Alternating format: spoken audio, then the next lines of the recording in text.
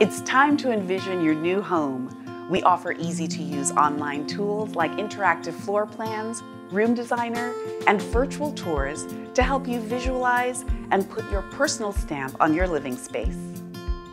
To start, choose your floor plan. Which of our consumer-inspired, innovative, and flexible floor plans is right for you? Do you prefer a single-story or two-story home? How many bedrooms will you need?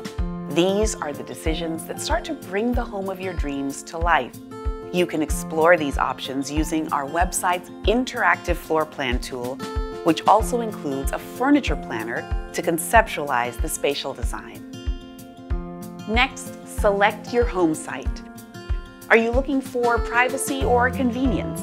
Do you want to be in a cul-de-sac or closer to a park? Using our website's interactive map tool, you can familiarize yourself with the community and select the home site that best fits your needs. Now it's time to choose structural options to personalize the layout of your home. Will your extra room be a bedroom with a bath or an office?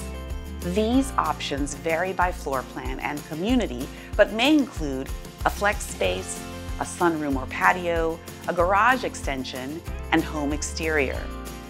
After your home purchase agreement has been signed, you will begin to select the fixtures and finishes that bring your home design to life. Using our Room Designer tool, choose cabinet layouts, countertops, flooring, and more.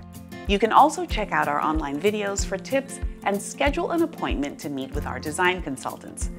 Keep in mind, if you selected a quick move-in home, construction will have already begun based on a pre-selected home package chosen by one of our experienced designers. So please be advised that there may be limited design options to choose from depending upon the stage of your home's construction.